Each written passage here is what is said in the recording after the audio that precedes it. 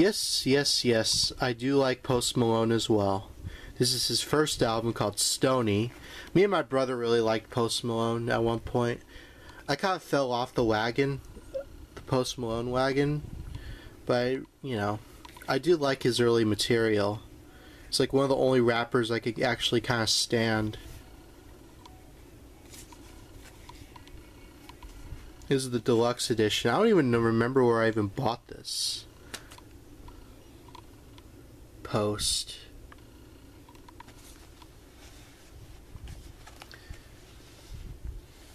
Is there even anything? Yeah, there's a booklet. Yeah.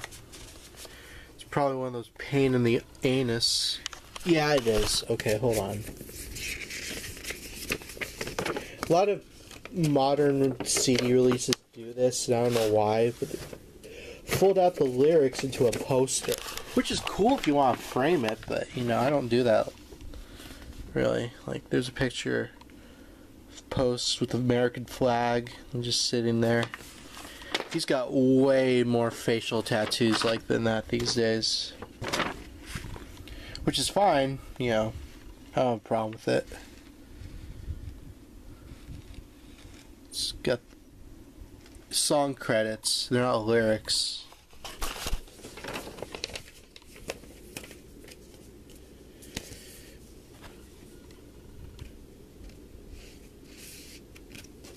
I'll show the disc.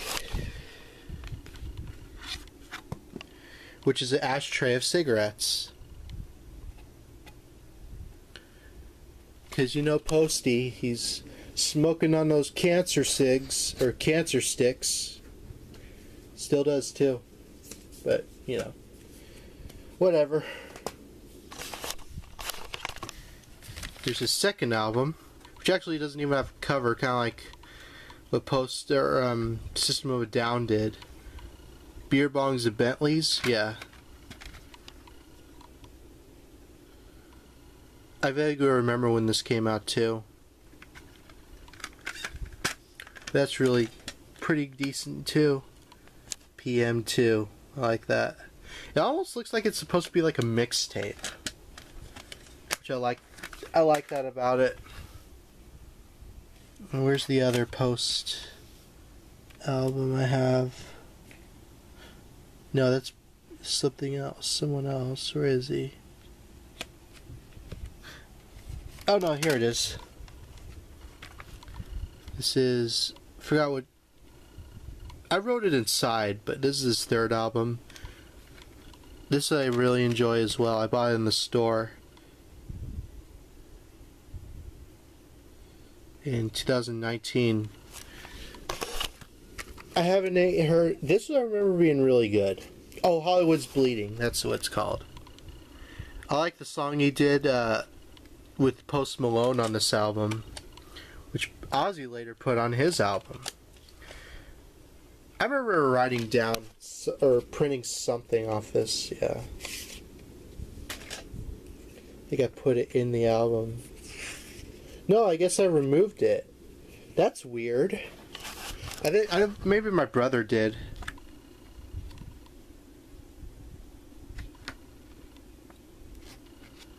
Yeah, see who's starting to get more the facial tattoos. Which again, whatever, you can do whatever if you want.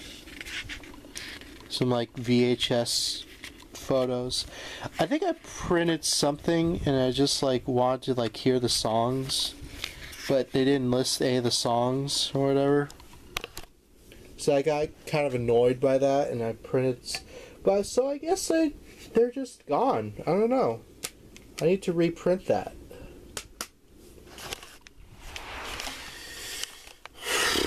Uh, boy.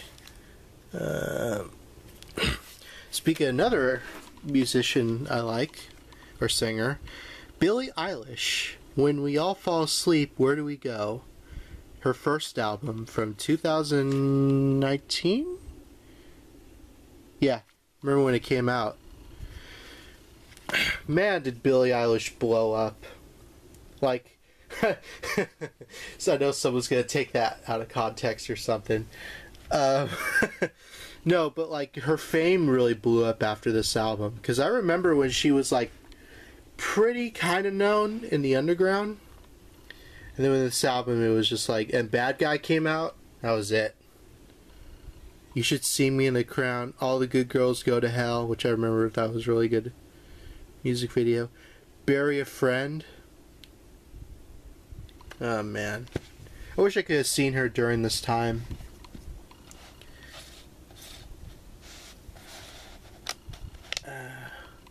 There's the disc. I know there's a reissue with like bonus tracks. Is this the one? No, it's not. But I know she reissued it with like bonus tracks and stuff like that. I got this off Target, which I think actually has bonus tracks or something. And this does the same thing the friggin' Post Malone album does. But it's got a cool little poster of Billie.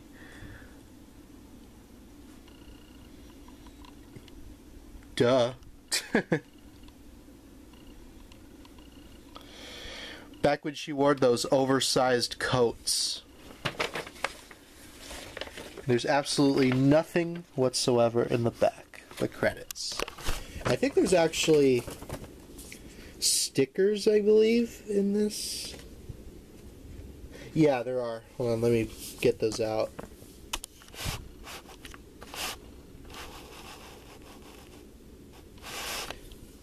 Don't pay attention to that. That's going to be for something else.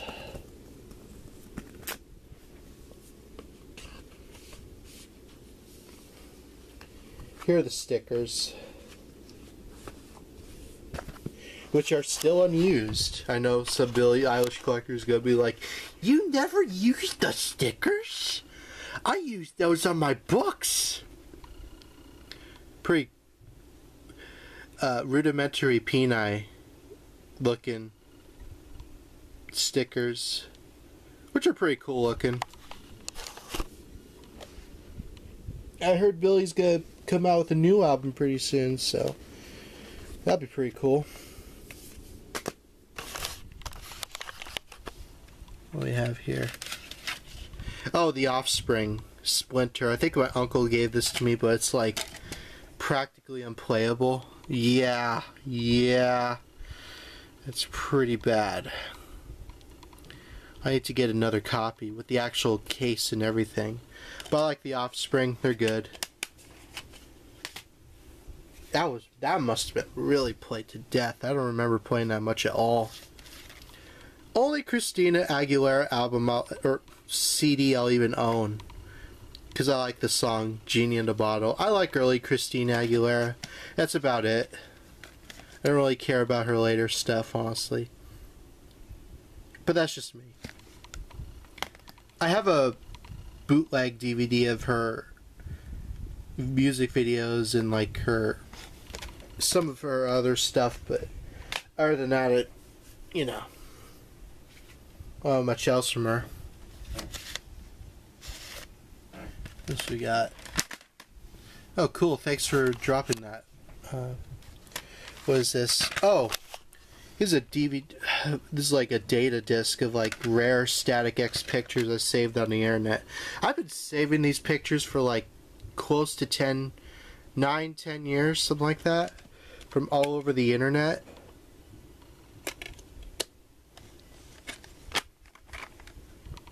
Yeah, just so I've been kind of saving those over the years.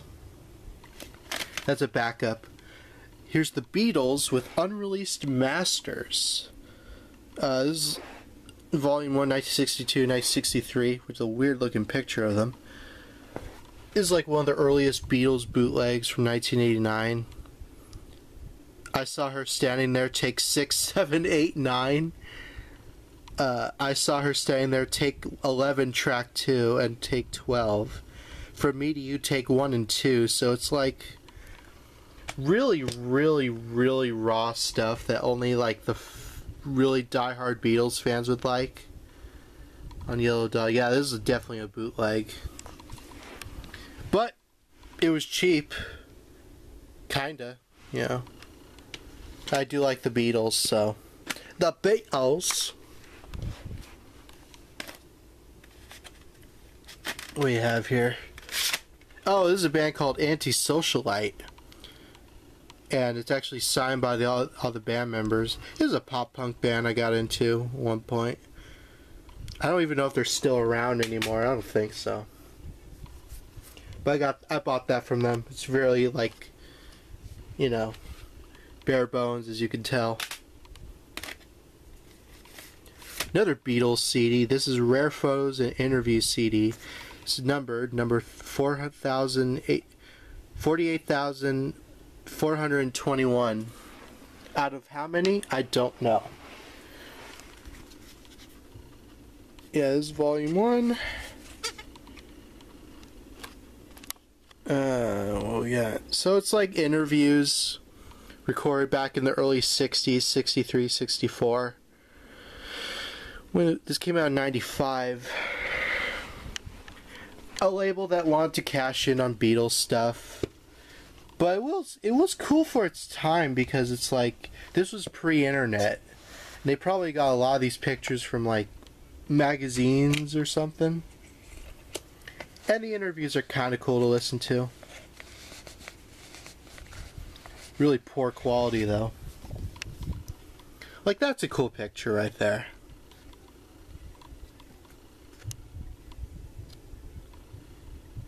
Yeah, I'm sh- I'm sh- 100% sure all these pictures are so common now, but at the time they're like, "Hey, these are rare pictures," which at the time they probably were. Like that's a cool pic of them at Sullivan. But now it's like with the internet, everyone's like, "Oh, I've seen that picture before." Yeah, I've seen that picture before. But gotta have it. Speaking of the Beatles, I don't know why my camera's like that. Beatles, Please Please Me. First Beatles album from 63. I saw her standing there. Please Please Me, Love Me Do, P.S. I Love You, Twist and Shout, and this has an enhanced version. This is the 2009 remaster. But this says please please please me please please me me documentary.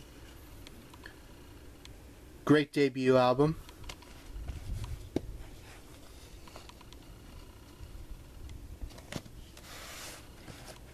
I hate the packaging though cuz it's like I get what I hate I like that the fact that it's um focus camera.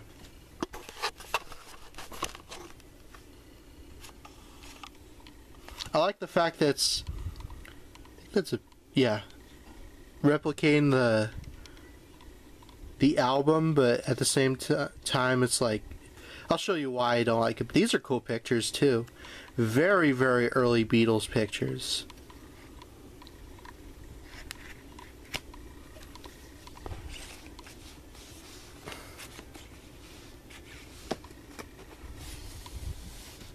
I'll show the disc probably really scratched so bad. Yeah, it's there. Oh boy, that's a. It's got some gunk in that. I don't know where that came from. But there, there's the disc. But yeah, you have to slip that in and out.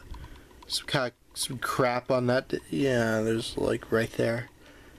It's cool to have though, but it's really not the best version to get of I mean, it's budget release. Uh, I mean, I think they even mentioned that in the case. Like it's like recyclable or something.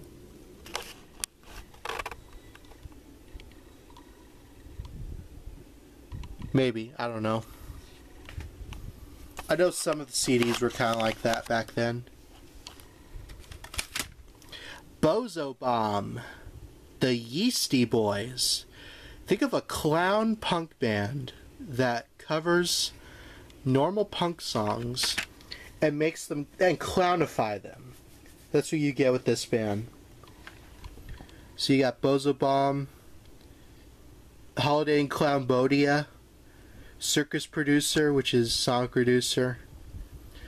I got this for cheap, and you can't even find this album anywhere, save for one out video I uploaded. They were around. I remember. I never got to see them live they, before they broke up, but it's different. It was different, you know. It's, they were trying to do something new, and I appreciate that. Included for the kids. Yeah, right. Projekt Revolution sampler. This has like a bunch of like bands. Let's see, Korn, Less Than Jake, Funeral for a Friend, The Used, Shadows Fall, Snoop Dogg, Goldfinger, Linkin Park, Helmet, Thrice, Jadakiss, which who were alright. It's just like the sampler of the Projekt Revolution tour that happened, I think, in 04. I think I got this for maybe free. Uh, I'm holding on. Silver and Gold. Uh, comp- compression. It's actually signed by the entire band and really sloppy gold kind of uh, sharpie. This is a Colorado rock band I saw live. I have a picture with me and them somewhere. They were really nice.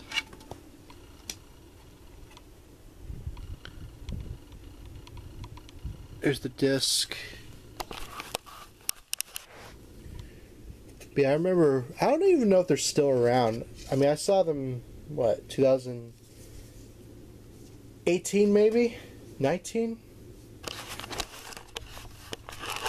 I dug them a lot. Oh, these are a bunch of Static X bootlegs I put on discs. So, like, was this? WYSP Studio. These are all on YouTube, by the way. House of Blues Vegas 1999 radio broadcast.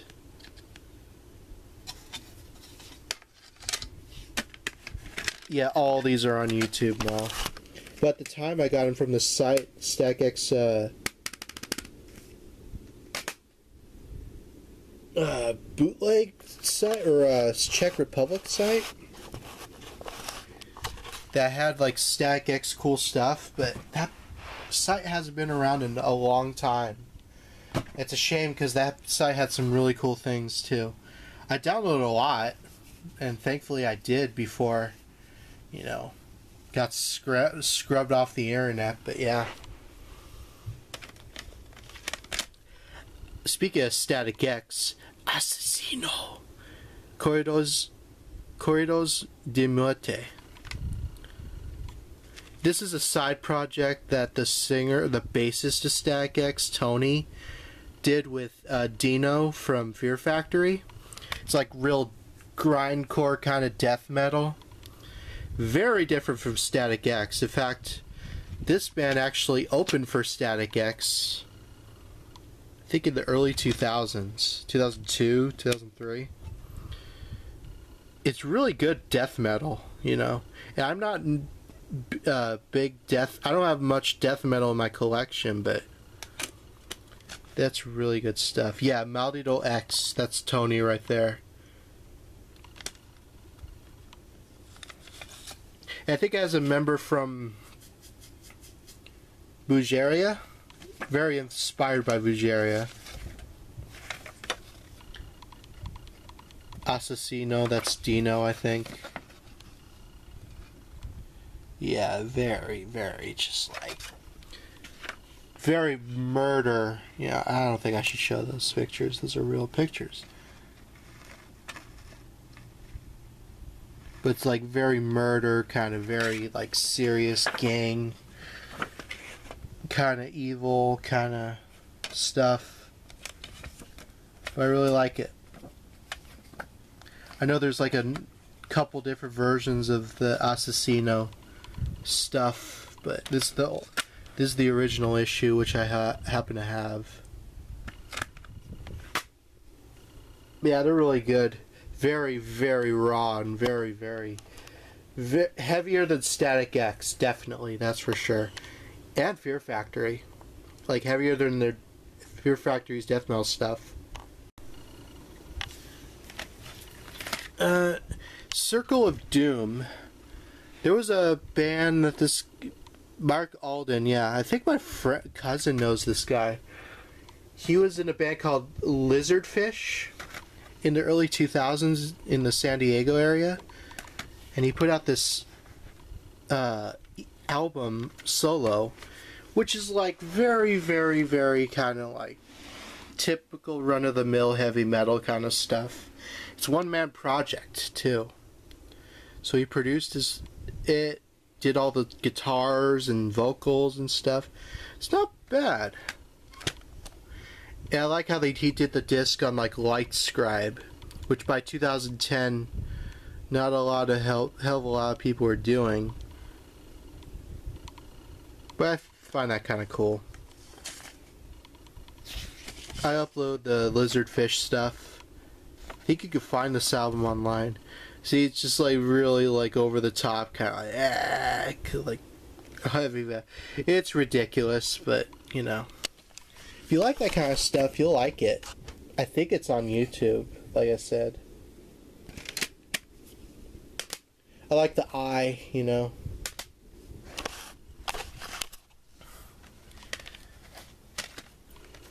Here's the soundtrack to Austin Powers' The Spy Who Shagged Me. They had two volumes of the soundtrack. This happens to be volume one, which I really like. The Monkees, Steppenwolf, Bangles, Zombies, They Might Be Giants, The Guess Who, even a freaking Lords of Acid song is in here, which is wild to me because they're like very like they're kind of like um, Crystal Method, sorta, but like very sexual lyrics. Get in my belly.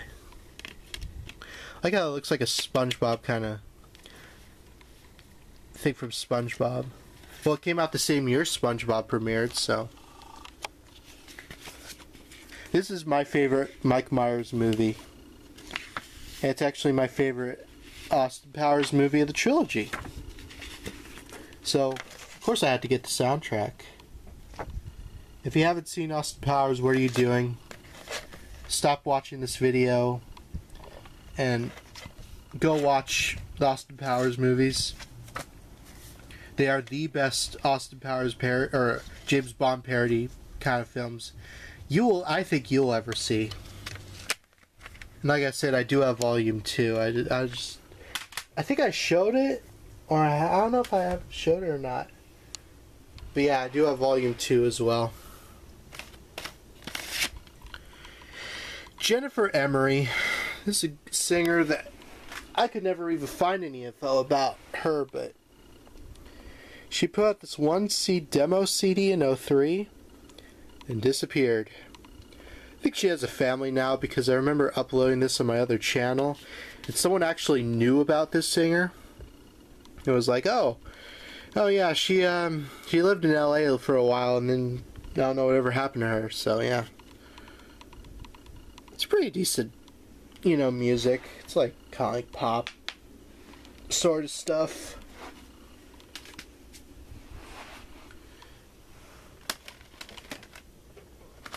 What do we got here? Uh, songs from next Friday. Ice Cube, You Could Do It featuring Mack 10, and Lil Zane with Money Stretch. I don't even own the soundtrack to this, but it's got the radio edit, instrumental of You Could Do It, and main mix and instrumental of Money Stretch. I do like Next Friday, but soundtrack I remember kind of forgettable. This came out a year before the movie did. Three Strikes, a new film by DJ Pooh. Have not seen that, but I do like DJ Pooh's movies.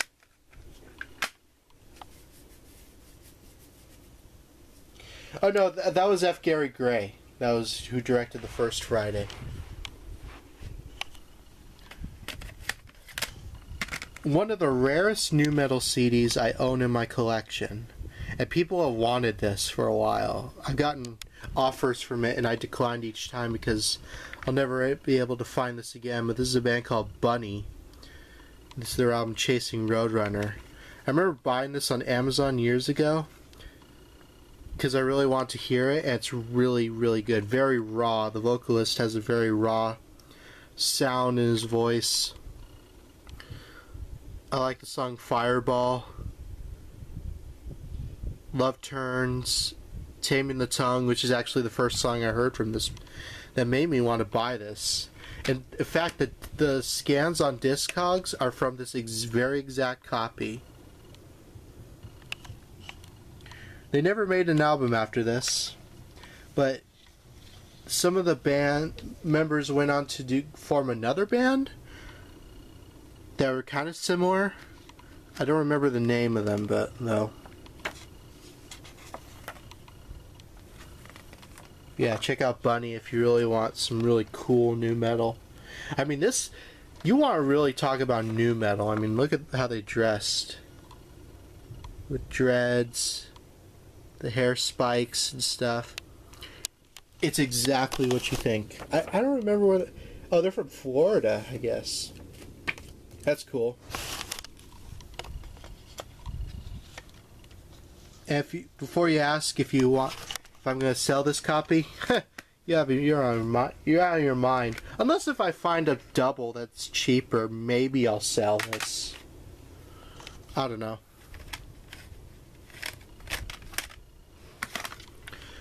HR, you know, from uh, Bad Brains. This is his solo like reggae single, Rock of Enoch, released by SST.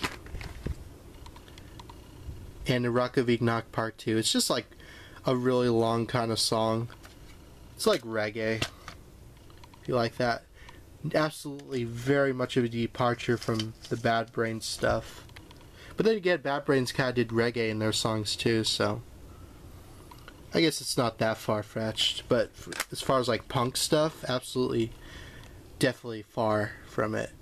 Came out in '92. It was like a buck at a record store, and I like Bad Brains, so.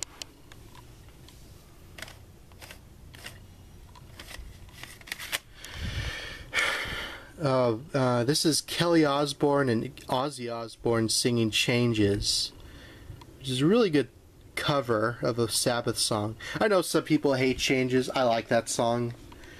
Is it the best Black Sabbath song? Absolutely not in a million years, but still good. I like this version of it. I do like Kelly Osbourne as a singer, even though she made like two albums the Felix da Housecat dance mix. How do you make a dance mix out of that? That's like a slow song. And a live version of Dig, Dig Me Out. Uh, you either like Kelly Osbourne's music or you don't. if you like kind of like pop punk from like the early 2000s, you like it.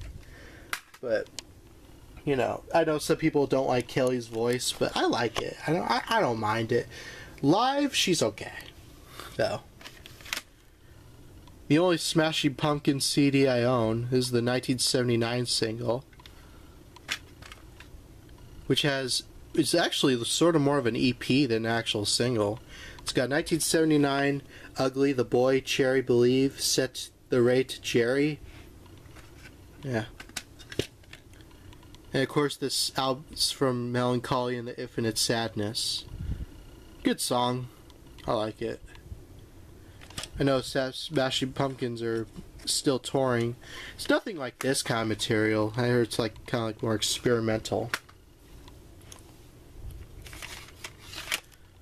This is kind of like sludge rock, uh, Mardo.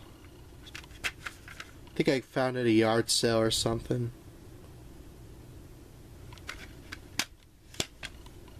One of the most electrifying records in years. Mark Arax, the Los Angeles Times. That doesn't matter. That doesn't mean anything. you could be from whatever. Does it really sound good though? I remember this band being kind of alright. I think they put out an album. I think. My mom likes Aerosmith, so of course I had to have an Aerosmith comp. This is the second one I own. This is Big Ones, which for some reason someone cut off the s- spine off here. It's got like greatest hits or later songs, like "Dude Looks Like a Lady," "Janie's Got a Gun." So it's like 80s to like mid 90s. Crazy, of course. If you like, it's not the best Aerosmith compilation to get. There's better ones out there, but if you are specifically looking for like 80s and 90s Aerosmith, you'll like them. You'll like this album. What is this? Rock your CD, rock your ROM video grit. of course, the rock video moving puzzle game.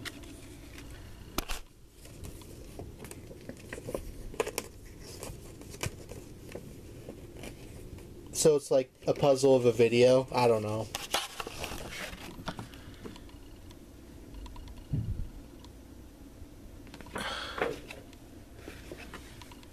What does that say? Oh, big ones. Yeah.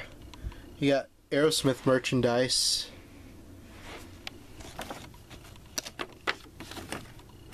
Yeah.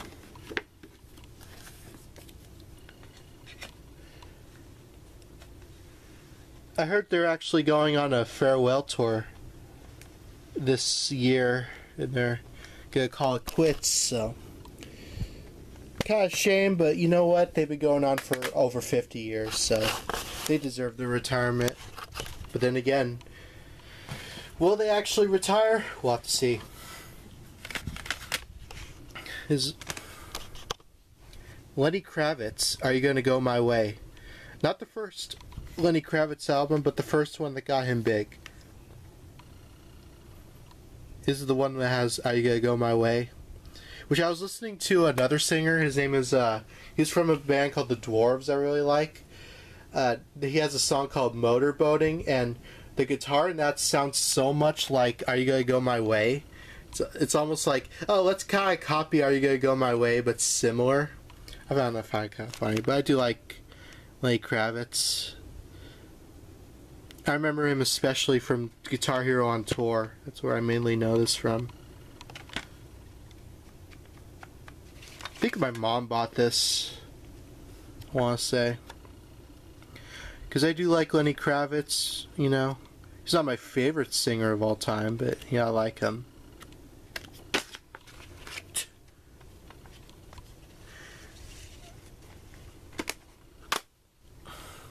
Almost done.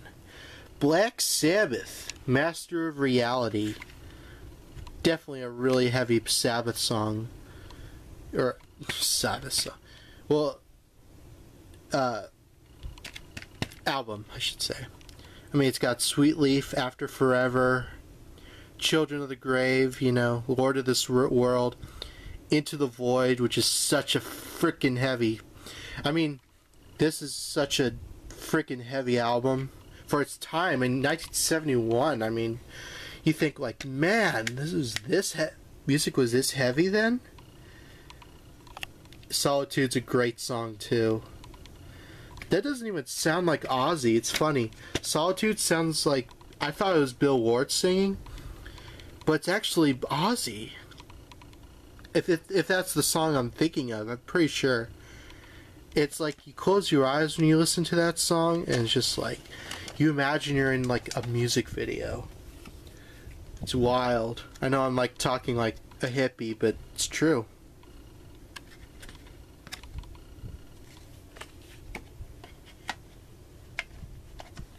I know this is um, Sean Count Blagareth's favorite Sabbath album, and it's definitely up there for me. I really like it. I need to get the deluxe edition with the extra tracks. And here's the first album. Uh, you know, everyone's heard this. This is a eight, oh, I think an early '90s reissue from America, which doesn't even. I like the UK track listing better. Like I like the um, British track listing, but you know, or uh, American track listing, but I don't know. Which had an evil woman. Yeah, for some reason, they replaced it due to copyright, but I heard there's a deluxe edition which has both those songs, so I might as well get that. Got this at FYE a long time ago.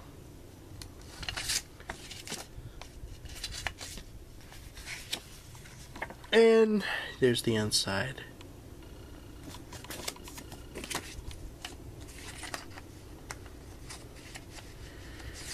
Again, not my favorite Sabbath album. I think my favorite, honestly, is. I don't know. I have to think about that. Probably either Paranoid uh, or Volume 4. Probably. Uh, what do we got?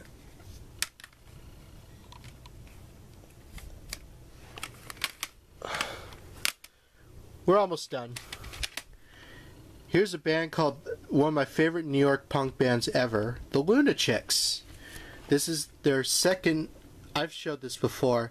This is like my second copy on CD. I have two copies on CD, two copies on vinyl. This is like a second pressing on CD. This is their album Binge and Purge. You know, great punk rock from the early 90s. It's not my favorite though. My favorite is Babysitters on Acid, which I think I showed. But I like the song Apathetic, Binge and Purge, Super Strong, which is only song sung by Becky Wreck, their drummer. It's just the last song uh, album that she was on before she got fired from the band. Too Bad for You, Kill, PS Hell, Whole lot of BS. Great album.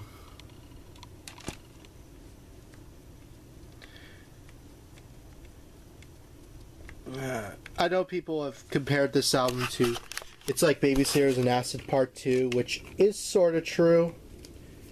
Kind of not. I know some of these songs they played live during the Babysitters on Acid era, but they didn't record during until this.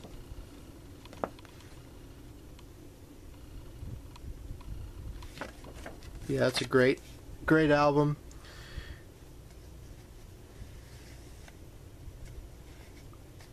Probably my second favorite album from them. No, maybe third.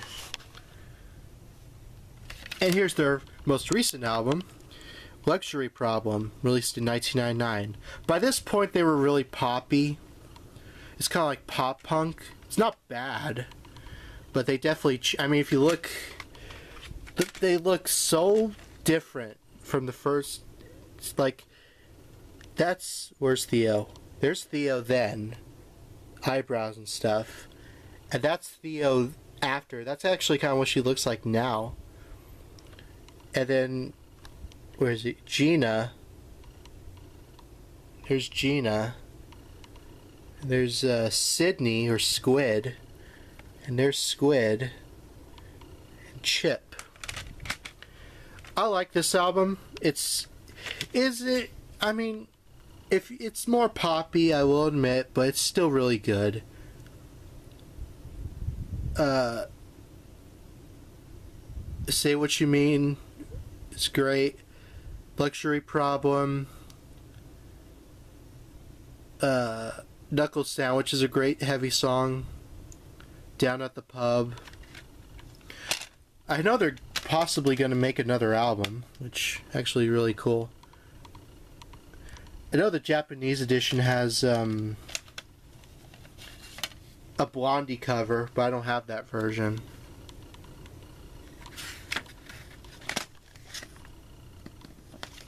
But yeah, if you like uh, some New York punk, with chicks, check out the Lunachicks.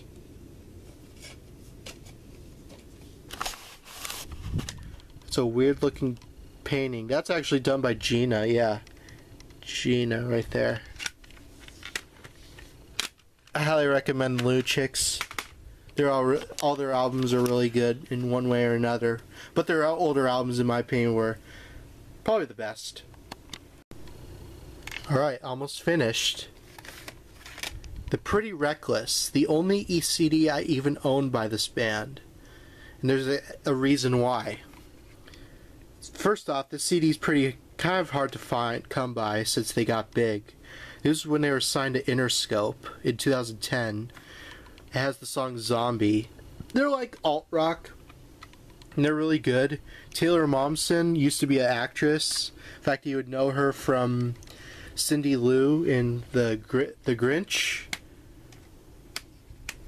uh, from Jim Carrey. The cool thing about this, though, is that it's actually signed by everyone, including including Taylor. Now, I got this at a record store, so I can't really authenticate these signatures, but from what I've seen, and there's the disc, they look pretty legit. You know? So I have Taylor's autograph. That's cool. That's a really cool poster, too. I like that pose.